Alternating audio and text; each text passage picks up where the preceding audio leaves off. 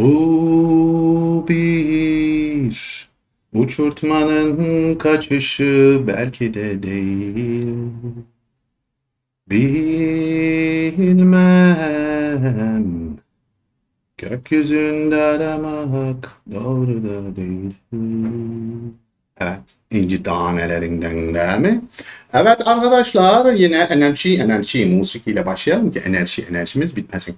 Sevgili arkadaşlar hızla gidiyoruz deneme 21 yine minnaklardan çözmeye devam ediyorum size. Arada böyle atıştırmalık yapıştır bunları ve dediğim gibi bütün seçenekleri çatır çatır çözeceğiz. Sevgili arkadaşlar hatırlatmalarımı hemen yapıyorum. Oynatma listelerine dal orada hazineyle karşılaş ve e, kesinlikle konu anlatımlarını arkadaşlar izle izle konu anlatımsız girme. Tamam. Önce bilgi sahibi ol, sonra fikir sahibi ol. Ondan sonra bütün bak e, şeylerde eğer konu anlatımlarda sıkıntınız yoksa hallettiyseniz onu orada 2024 KPSS lisans, ön lisans direkt tarih soru çözümleri var. 15'er 15'er ünite ünite ayırdım onları. Sonuna kadar bütün seçenekler açıklanmış bir şekilde ki Çağdaş da orada arkadaşlar. 18'den itibaren Çağdaş var. 5 test yani 75 adet sorunuz var orada. Hepsini sorular üzerinden konu anlatımlı gibi yaptık. Doğru mu? Güzel. Ve helal olsun yine 300 saati yapıştırmışsınız her gün maşallah 300 saat çatır çatır izliyorsunuz arkadaşlar videolarımızı. İnşallah kanalımız böyle bu neyse YouTube'da böyle tiplere bakıyorum da böyle yeni yetme arkadaş nedir lan o 200 bin beğeniler, 200 bin aboneler bilmem neler. Ne anlatıyorlar da abone oluyorsunuz yakışıklı mı, güzel diye mi? Arkadaş bir bakıyorum karikatür gibi çizmiş oraya.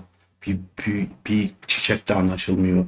Bak bir bok diyecektim ama çiçek diyeyim de bari şey yapmıyorum. Terbiye sınırlarını aşmıyorum. Neyse.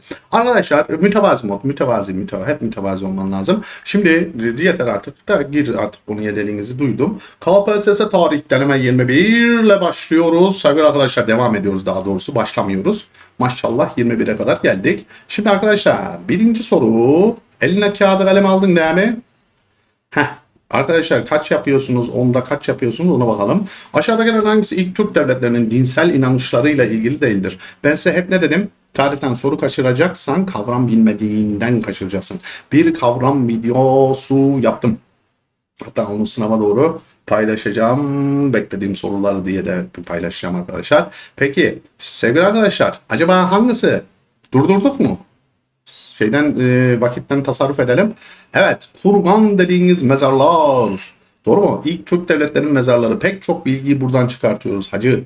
Bunlar oda şeklinde abicim ve içerisinde hükümdarın ya da işte ölen kişinin nedir? Özel eşyaları, atı, ne bileyim işte oku, yayı bunlarla gömülür. Ahiret inancının kanıtıdır.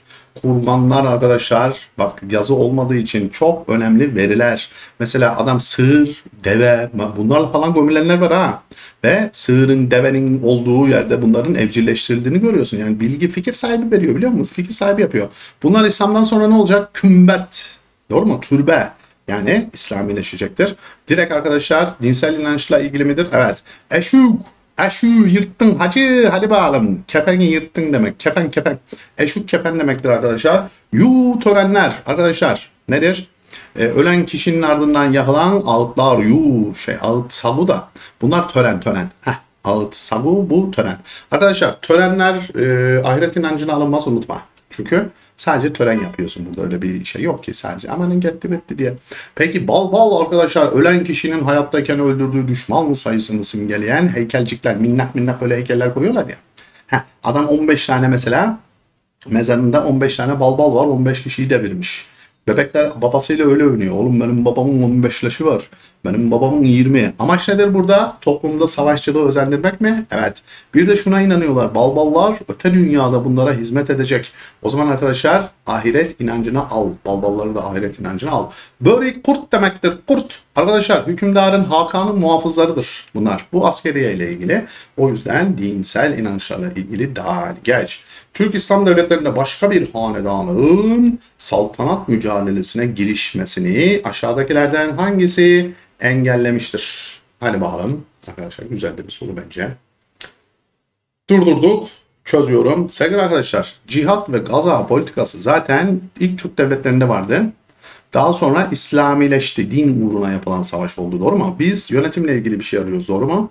Bak hanedan başka bir saltanat, başka bir hanedan gidip de o hanedanı devirmesin. Bu giriş, girişimi niye ne engellemiş acaba? Bir kere hanedan üyelerinin illere vali olarak gönderilmesi. Bu ülüşle ilgili bir şey abi.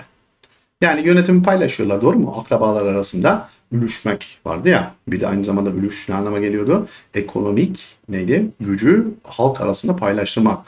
Atabeylik kurumunun ortaya çıkması alakası yok arkadaşlar. Atabeyler e, Selçuklu da ortaya çıkıyor biliyorsunuz. Bunlar e, iç işlerine serbest, dış işlerine bağımlı hareket etmeye başlıyorlar. Ve e, Selçuklu'nun başına bela olacak bunlar. Doğru mu? Ordu kurup sağa sola sefer çıkıp sefere çıkma hakları bile olacak Atabeylerin. Atabey neydi biliyor musun? Cücükleri hükümdarın, Selçuklu'da hükümdarın cücüklerini, meliklerini eğiten kişiler. Peki divan örgütünün yönetimde etkinliğini artırmasıyla mı oluyor saltanat mücadelesi girişmesi? Başka hanedan onu devirmiyor. Yok. Arkadaşlar bak halk o dönemde böyle ne diyelim alfa tipler vardır değil mi? Yani lider ruhlu belli eder kendini o. Onun etrafında birleşiyor. Bak kabilecilik muhabbeti buradan çıkıyor aslında. Sonra o aileyi kutsal olarak kabul ediyorlar ve ne şey yapıyorlar? Gök Tanrı bunların hanedan üyelerine e, kut vermiş. Yani devleti yönetme etkisi vermiş. Devleti yönetme etkisi verdiyse bunun bütün hanedan kutsal hatunlar dahil olmak üzere. O yüzden veraset anlayışı çıktı. Ülke hanedanı ortak mal oldu. O yüzden arkadaşlar başka hanedan buna cesaret edemiyor. O, o yüzden halk dinlemez ki. Çıktı ben biz de kutsalık, biz de kutsalıklar da gat derler. Doğru mu? O yüzden kesinlikle kut inancının devam etmesine bağlarız. Beylikten devlete geçiş döneminde sevgili arkadaşlar Osmanlı'da biliyorsunuz bir fetret devri var. 1402 e, maalesef Ankara Savaşı'nda Timur Yıldırım'ın ağzını burnunu dağıttı. 11 yıl sürecek taht kavgaları dönemi durumlardan hangilerine ortam hazırlamıştır? Sevgili arkadaşlar Ankara Savaşı da yakında gelen bir soru biliyorsun. Ankara Savaşı'nın sonuçları diye sorular basit şey klasik sorulardan. Bunu da işte değiştirip değiştirip soracağız. Peki sevgili arkadaşlar 1402-1413'te 11 yıl İsa, Musa, Süleyman ve Mehmet dördü kapışıyor doğru mu? Bu 11 yıl süre içerisinde süre içerisinde Ankara Savaşı'ndan sonra Timur dediğini yaptı ve beyliklere her geçtiği şeyde yolda beyliklere teker teker ne yaptı abi? E, ne diyelim topraklarını verdi. Kısaca Anadolu Türk siyasal birliği dağıldı. Kurulmayan tek bir beylik vardı Karesioğulları. O zaman buna ortam sağlar mı? Kesinlikle. Peki arkadaşlar acaba Avrupa'da Haçlı İttifakı'nın kurularak Anadolu'nun istila edilmesine ortam sağlamış mıdır? Aslında çok güzel, çok yani Avrupalılar için çok müsait bir durumdu. Gelemediler. Sebebi sordular. Niye? Ya düşünsene bu saate kadar Sırpsındı, Kosovalar gördük, ikinci Kosova, Varna savaşları. E bu saatte niye gelmedin abi? Yani Varna pardon daha onlara var 1444-48. Ama Sırpsındı gördük. Niye Haçlılar acaba böyle bir ittifak kurup gelemediler? Abi aralarında İngilizlerle Fransızlar kapışıyor. 100 yıl savaşları olduğu için. O yüzden gelemediler. O, o yüzden bu olmaz. Peki arkadaşlar doğuda Timur tehlikesini baş... Olur mu bu? Zaten Timur tehlikesi baş gösterdiği için Ankara Savaşı oldu. Doğru mu? Yani Ankara Savaşı'nın nedeni, nedenlerinden birisi neydi? Çin'e sefer düzenlemek isteyen Timur'un şöyle arkasını döndük baktığında o doğuda neler oluyor lo dediği zaman yani Yıldırım Bayezid ta Fırat'a kadar Anadolu Türk siyasal birliğini sağlamış. Güçlü bir devlet çıkmış karşısına. Çin seferi öncesi arka tarafı ne yapacak? Güvenlik altına almak için. O yüzden arkadaşlar Doğu'da Timur tehlikesi çoktan baş gösterdi ki Timur zaten bizi 1402'de Ankara Savaşı'nda yendi, Fetret devrine soktu. O yüzden arkadaşlar hangisine ortam hazırlar? Tabii ki yalnız bildir. Burada çakallıklara ve kelime oyunlarına dikkat. Geç. Osmanlı Devleti'nde sık sık değişen mültezimler daha fazla kar sağlamak amacıyla sevgili arkadaşlar. Mültezim neydi? İltizamdan vergi toplayan kişiler. Sık sık tekrar ediyorum. İltizam neydi? Bir bölgenin vergi toplama hakkının satışa çıkması doğru mu? Peki oradan vergi topla, toplayan adamlar mültezimler. Bunlar arkadaşlar bak devlet halk e, halktan biraz elini eteğini çekince halkın tepesine binmeye başlamazlar mı? Daha fazla kar elde etmek için daha fazla vergi toplamaya başlamazlar mı? Tımar sisteminde hiç öyle bir şey yoktu. Tımarda neydi? Tımarlı sipahi alıyordu vergiyi. Osmanlı da buna karşılık ne diyordu? Asker besle bana diyordu. Bak tımar sistemi bozuldu, iltizam. İltizam da bozuldu malikane. Malikane de ömür boyu verdi. En azından iltizam bozulduğunda 3 yıl sadece ne diyelim vergi toplama hakkını satışa çıkartıyordu. Malikane de ömür boyu verdi. Peki vergi kaynaklarını talan etmeye başlayınca bu durumu engellemek ve vergi devamını sağlamak için vergi kaynaklarının mültezimlere aha bu işte ömür boyu verilmesi abi nedir? Hangi sistemdir? Durdurduk. Yapıştırdınız. Ben açıklıyorum. Tımar. Arkadaşlar şurada hemen özetleyeyim mi? Sen tımarlı sipahisin. Seni kö- köye gönderdim. Köylüyü senin e, ambarını yaptı, evini yaptı. Sen de ona alet edevat verdin tarımla ilgili. Ve e, vergiyi sana köylü, köylü ödedi. Bana herhangi bir vergi gelmedi. Ben devletim. Doğru mu? Ama devlet olarak sana şunu söyledim. 3500 akdesini al o senin kılıç hakkın, maaşın. Ama geri kalan her 3500 için bana bir tane cebelü besle. Bu sistem sayesinde para çıkmadan, hazineden para çıkmadan düzenli disiplinli savaşa her an hazır bir ordu besledim mi? Bir.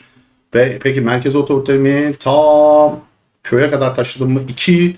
Aynı zamanda arkadaşlar güvenliği sağladım mı o köyde? Üç. Üç temel yararlı. Peki tımar zaman içerisinde dedi ki Osmanlı ya tımardan para kazanmamız lazım. Çünkü coğrafi keşiflerle para ekonomisi devreye girdi. Ve sonuç arkadaşlar tımardan nasıl para çıkartırsın? Şunu düşündüler. Bir bölgenin vergi toplama hakkını kişilere verelim. Millet ihaleye girdi. Parası bol olanlar ve en fazla parayı veren de kaldı bu ihale. Atıyorum 300 bin akçe verdi herifin biri ve 3 taksitte devlete nakit olarak yani 3 taksitte ödedi bunu.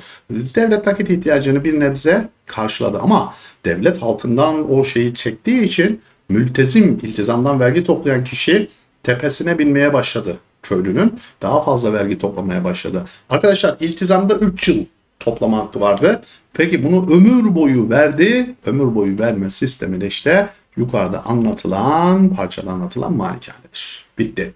Peki mukata nedir burada arkadaşlar? Mukata arkadaşlar iltizam usulünün uygulandığı topraklardır. Yapıştır. Gedik nedir? Lonca teşkilatı ile ilgilidir gedik. Arkadaşlar bir nevi ruhsattır. Mesela berber berbersin ya.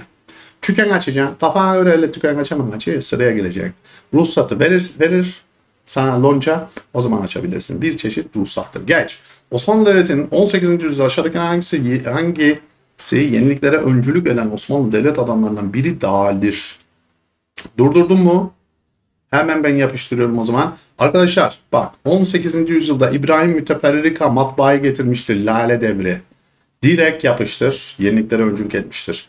Üçüncü Ahmet'in ki Lale Devri'nin padişahıdır biliyorsun. Lale Devri'nde ne vardı? Batı tarzı ıslahatlar kültürel alanda başladı. Asker alanda yok dikkat. Peki Nevşehirli damat İbrahim Paşa master degree direkt batı tarzı ıslahatları öncülledi. Peki arkadaşlar burada belki bilemeyeceğiniz kişi Cezayirli Hasan Paşa.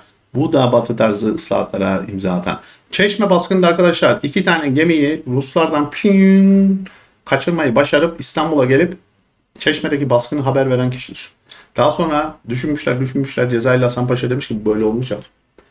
Mühendishane-i Bahri Hümayun'un temellerinin atılmasında çok önemli rol oynamıştır. Cezayirli Hasan Paşa Darun de Tot'la beraber. Peki arkadaşlar Mehmet Said Efendi bu da arkadaşlar bu şeyde e, söyle Paris'te gezerken asıl Mehmet Said e, Efendi buluyor bu şeyi. Söyle matbaa matbaa heh, matbaayı Mehmet Said Efendi e, sana tavsiye ediyor. Bu da e, öncüdür. Peki ama Köprülü Mehmet Paşa olmaz. Çünkü 17. yüzyılın arkadaşlar Köprülüler dönemi. Osmanlı tarihinde söyleyiver. Neydi? Osmanlı tarihinde ilk kez saraya şartlar öyle sürüp başa geçti. Bir. 17. yüzyılın en önemli ailesidir. İki. Bu böyle bir soru yaptım arkadaşlar. Nasıl sana, nasıl Çandarlı sülalesini sorduysa 17. yüzyılda Köprülüleri de sorar. Devleti şöyle silkeleyip kendine getiren aile. Köprülü Mehmet Paşa ailesi. Kısaca 17. yüzyılda duraklama içerisinde yükselme olarak geçecek Köprülüler dönemi. Geç. 1915-17 yılları arasında Osmanlı Devleti'nin parçalanması ile ilgili itilaf devletleri arasında gizli paylaşım planları değişikliğe uğruyor arkadaşlar. Adamlar bizi Londra'da, Boğazlar'da, ondan sonra söyle e, şey e, neydi? Petrograd'da, Sykes-Picot'ta, Saint-Jean-de-Maurienne anlaşmasında bir güzel yapıştırıyorlar. Gizli anlaşmalar yapıyorlar. Peki arkadaşlar bu anlaşmalar ne oluyor biliyor musunuz? Zaman içerisinde piyuu uçuyor. Mesela neler e, oldu da değişti? Arkadaşlar bir kere en önemlisi Rusya'nın savaştan çekilmesidir. Neden? Çünkü Boğazlar Anlaşması'nda Rusya, Doğu Trakya, Güney Marmara, İstanbul, Boğazlar abi çok istediği her yeri aldı. Burada İngilizlerin amacı neydi biliyor musun? 1915 senesinden bahsediyorum. Bu gizli anlaşma, Boğazlar Anlaşması'ndan bahsediyorum.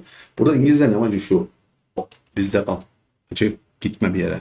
Çünkü Birinci Dünya Savaşı'nda arkadaşlar Rusya'nın savaştan çekilme ihtimali belirdi. İç savaş yaşıyor Menşevik ve söyle Bolşevikler arasında. Bolşevikler ne diyor? Sosyalist oldukları için biz Birinci Dünya Savaşı'ndan çekiliriz eğer iç savaşı kazanırsak. Menşevikler Çarlık Rusyası yanlısı olduğu için biz savaşta kalırız diyor. Kime abi yardıma gidiyorlar Çanakkale'de mesela? Menşevik Rusya, Çarlık Rusya doğru mu? Peki Rusya'dan Rusya'nın savaştan çekilmesi, bütün bu toprakların başkalarına verilmesi, peşkeş çekilmesini neden olacaktır. Bir de Rusya'ya Petrograd'da arkadaşlar Doğu Anadolu ve Karadeniz'i de verdiler. Doymuyor. Anladın? Ve Rusya'nın savaştan çekilmesi bütün bu toprakların başka birilerine peşkeş çekilmesini sağlayacak diyelim. Hadi neden olacak diyelim. ABD'nin savaşa girmesi Birinci Dünya Savaşı'nı bitirdi arkadaşlar. İtilaf devletleri şöyle dengeyi düşün böyle artık denge bu tarafa doğru boing diye itilaf devletleri safında ki yıpranmamış güçlerle girdiği için ABD itilaf devletleri saflarında girdi ya. Ya Almanlar gitti Atlas Okyanusu'nda e, bir hata yaptılar. Gitti denizaltılarını çalıştırıp ABD'nin ticaret gemilerini bombalayınca ABD itilaf devletleri saflarına girdi. Osmanlı Devleti'nin savaştan yenik ayrılması olur mu sevgili arkadaşlar? Gizli paylaşım planlarının değişikliğe uğramasında ya yeni işte olsa yense de seninkiler çoktan senin hakkında kaderi belirlemişler. Hacı doğru mu? Bu gizli anlaşmalarla. Peki sevgili arkadaşlar o zaman o zaman hangileri belirleyici olmuştur? Yalnız bir geç. Lozan konferansında konulardan hangileri Türk tarafının kendi iç meselesi sayıp çok da tartışmaya girmediği meseleler. Acaba hangisi? Ya da hangileri sevgili arkadaşlar? Lozan konferansında durdurduk. Hemen çözüyorum vakit kaybetmemek için. Kapitülasyonlar arkadaşlar kendi iç meselemiz değil maalesef de amanin de amanin. Ta Ceneviz'de başladık ilk kapitülasyonlar. Sonra Venedik kapitülasyonlar. Sonra Fransa kapitülasyon. İngilizler, Hollandalılar, Ruslar arkadaşlar yani kapitülasyon vermediğimiz ülke kalmamışlar. Honolulu adalarından yamyamlar gelse onlara da dağıtacakmışız. Bu kendi iç meselemiz olamaz. Zaten birinci Lozan konferansı bu yüzden dağıldı. Atatürk ise asla taviz vermeyeceksiniz dedi. İsmet Paşa da Esat'tan taviz vermedi. Birinci Lozan konferansı o yüzden dağıldı. Bu bir iç mesele olamaz. Peki sevgili arkadaşlar kendi iç meselemiz saydığımız ne olabilir? Yabancı okullarda tereyağından çıl kıl çeker gibi yaptı. Helal olsun İsmet Paşa'ya. Orada da ayrı bir milli mücadele verdi arkadaşlar. Lozan senin tapındur tapın. Yabancı okullar konusunda ne dedi biliyor musun? Bu bizim iç meselemizdir. Evet. Bizim çıkartacağımız kanunlara göre yerini alır. 3 Mart 24'te şeyi hallediyorsun ya tevhidi tefsatı. Azınlıklar meselesinde de biz şöyle dedik. Biz azınlık tabirini kabul etmiyoruz. Yani Türkiye'de yaşayan herkes Türk vatandaşıdır. Bitti. Arkadaşlar iki meseleyi de tereyağından kılın şeker gibi hallettik. O yüzden kendi iç meselemiz olarak gördük ama kapitülasyonlar devlet güçlü devleti ilgilendiriyordu. Geç. Türk Tarih Kurumu tarafından Ocak 1937'den itibaren yayın hayatına başlayan dünyanın dört bir tarafında Türk tarihi ve Türkiye tarihini bütün yönleriyle ortaya koyacak konular öncelikli olmak üzere arkadaşlar arkeoloji tarihi ne güzel dergiymiş bu. Keşke bitirseydim. Gerçi internete şey yapmışlar ama hepsini işte sanat tarihi, kültürel çalışma alanında özgün araştırmalar yapmayı amaçlayan yayın organı. Arkadaşlar hangisidir? Hemen durdurdunuz mu? Evet. O yüzden ben yapıştırıyorum. Halk mecmuası. Arkadaşlar millet mektepleri açıldı ya abi. 32'de. Hani ne için açılmıştı? Millet mektepleri. Şey 29'da pardon. Neydi bunun olayı? 28'de hani 1928'de ilan edilen Latin harfleri vardı ya kabul ettiğimiz. Onları halka söyle öğretebilmek için. Bunun yayın organıdır abi. Yani amacı nedir? Millet mekteplerine işte katılanların okur yazarlıklarını pekiştirmek, işte e, öğrettiği şeyleri unutturmamak için, işte bunları sürdürebilmek, sürdürülebilir eğitimi yapmak için çıkarttıkları bir yayın organıdır. 1929'da yayın hayatına başlıyor zaten. E, 28'de Latin harfleri, 1929'da da Millet Mektepleri Halk Mecmuası'yla bununla beraber başlıyor. Arkadaşlar peki hakimiyet milliye nedir? 10 Ocak 1920'de yayın hayatına başlıyor. 1921'den sonra arkadaşlar artık günlük çıkmaya başlıyor hakimiyeti milliye. Buradan önce 4 günde bir Anadolu ve Rumeli Müdafaa Hukuk Derneği'nin çabaları ve Mustafa Kemal'in baş, başkanlığında tabii ki. Arkadaşlar şöyle bir şey geçiyor hakimiyeti milli, milliyenin e, şeyinde altında. Mesleği milletin iradesini hakim kılmaktır. Öh, hakimiyeti milliye. Doğru mu? 1934'te arkadaşlar bu Ulus gazetesi adını alıyor. Sonra 1971'de Barış adını alıyor. Geç. Ceride-i Resmiye resmi gazetedir. Osmanlı ilk resmi gazete 2. Mahmut biliyorsun. Vaka, te, takvim Vakayı gazetesi 31 1831. Ceride-i Resmiye gazetesi de arkadaşlar bizim ilk resmi gazetemiz. 7 Ekim 1920'de kuruluyor. İlk sayıda 7 Şubat 21'de e, yayınlanmaya başlıyor. 27'de arkadaşlar resmi gazete adını alıyor. Kararnameler işte var ya günlük. Hani bugün de geldi. İşte kararnameler, işte şöyle kanunlar, yönetmelikler, tebliğler bunların hepsinin yayınlandığı. İrade-i Milliye Sivas Kongresi'nin de karar veriliyor arkadaşlar e, çıkmasına ve milli mücadelenin ilk yayın organları olarak tarihe geçiyor. E, neden bağımsızlık savaşı veriyoruz? Bunları anlatmaya çalışıyor halka. İşte son durum nedir? Bunları anlatmaya çalışıyor. Halka anlatmaya çalışıyor. Doğru mu? 16 sayı çıkıyor arkadaşlar. Bunlar 1900 yani irade milliye çok fazla yani uzun ömürlü olmuyor. 22'nin sonunda kapatıyor kepenkleri. Peki belleten arkadaşlar asıl aha çillop gibi değil mi? Şeyden yazın hayatında muhteşem bir şey. Türk ve Türkiye tarihi Ocak 37'den sonra Ayda arkadaşlar 4 ayda bir çıkıyormuş belleten. E, herkes hazırlansın işte konusuna. Makalelerden oluşuyor. Muhteşem bir yazın. Peki geç. 33'te Türk mezarlarının tahrip edilmesi olayıyla başlıyor. Evet. Milli Talebe Birliği arkadaşlar düzenlediği gösteri sonucunda İstanbul'da Bulgar mezarlığına çelen konuluyor. Yani bu herifler Bulgarlar arkadaşlar bizim mezarları tahrip ediyor kendi memleketlerinde. Biz de buna jest olarak böyle şeylerle gidiyoruz. Böyle çiçeklerle, çeneklerle gidiyoruz. Sizin gibi barbar değiliz biz mesajı veriyoruz. Doğru mu? Söz edilen olay hangisi acaba? Durdurduk. O zaman ben yapıştırıyorum. Wagonli 33'te, 1933'te arkadaşlar Fransız şirket bu, demiryolu şirketi. Türkçe konuşmayı yasaklı herifler. Bizim talebeler de burayı basıyor bir güzel. Etrafı da Türk bayraklarıyla donatıyorlar. Tamam. Doğru mu?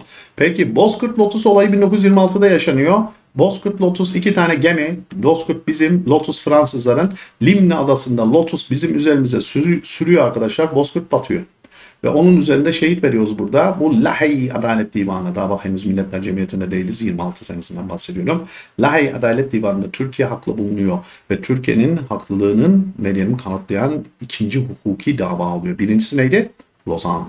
Peki arkadaşlar Picardy olayı. Picardy olayı ne biliyor mu? Olay değil aslında bu. Manevralardan bahsediyoruz arkadaşlar. Mustafa Kemal'in 1910'da katıldığı e, bir tatbikat bu. Fransa'da yapılıyor bu. E, ve arkadaşlar e, Manaşal e, şey var. Birinci Dünya Savaşı'na katılmış bir herif. Neydi herifin ismi? Ferdinand Foch. Foch muydu? Öyle mi okunuyor? Foch, Foch. Foch muydu, Foch muydu? Bu herif arkadaşlar Manaşal bu yönetiyor. Hatta Mustafa Kemal burada da kendini gösteriyor aslında alt rütbede olmasına rağmen kolasıdır o sırada.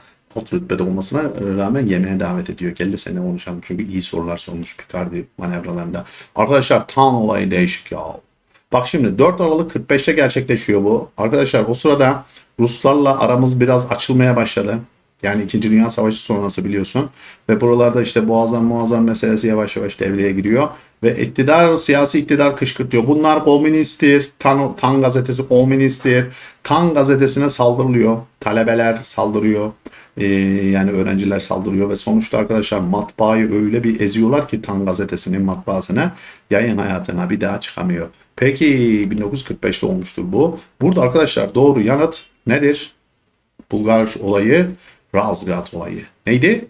Biz biraz önce söyledim aslında onların mezarlarına çiçekler, çelenkler koyuyoruz bu olay. Geç. Şunu söyledik, balonluyu söyledik, onu söyledik. Tamam yeter. Bugünkü modern Japonya'nın, Japonya arkadaşlar, kurucusu kabul edilen imparator Muchihito Meiji. 1867'de tahta çıkıyor bu adam.